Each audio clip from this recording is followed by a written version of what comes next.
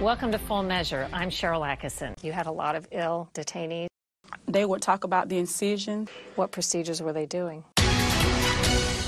China's rivalry with the U.S. spans politics, the economy, and even sports. Today, we have an exceptional story of intrigue about an untold drama happening at the 2022 Winter Olympics in Beijing.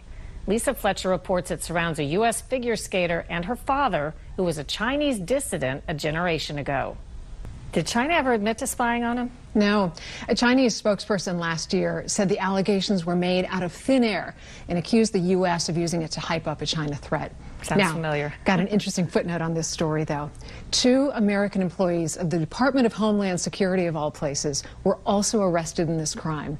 One of them for allegedly accessing a law enforcement database, getting Arthur and Alysa's passport information, and then giving it to the other person who was arrested, who allegedly passed that information on to the Chinese. On Homeland Security. Yeah. Interesting. Thanks, Lisa.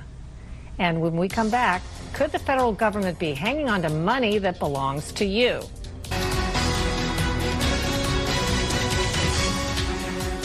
There's a fascinating battle between states that want to return billions of dollars in money to the rightful owners and the Treasury Department, which, believe it or not, is fighting the effort.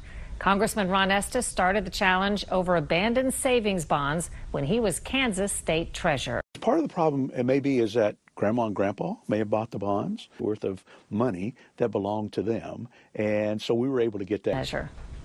If you want to hear more of our stories, you can check out our podcast. It's called Full Measure After Hours, wherever you like to listen to podcasts. Until next time, we'll be searching for more stories that hold powers accountable. Thanks for watching. I'm Sharyl Attkisson.